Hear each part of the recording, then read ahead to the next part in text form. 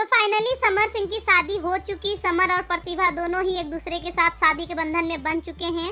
इनकी बीते रात शादी हो चुकी है। इनके शादी में कोई भी बड़े कलाकार नहीं दिखे भोजपुरी इंडस्ट्री के, पर हाँ इनके जो बहुत चहीते हैं, वो दिखे। जैसे कि जो इनके बहुत चहीते हैं, वही इनके शादी में अवेलेबल थे। जैसे कि खुशबू गाजीपुरी शुभम जयकर, केटी गायिका, और इनके जो भी फेवरेट कोरियोग्राफर और डायरेक्टर हैं, वही सब थे। बाकी इनके शादी में कोई भी बड़े भोजपुरी इंडस्ट्री के कलाकार नहीं दिखे। समर सिंह के शादी में नहीं जा पाए, वो चलो वीडियो देख के एंजॉय करो और इनको शादी की ढेर सारी बधाई दो।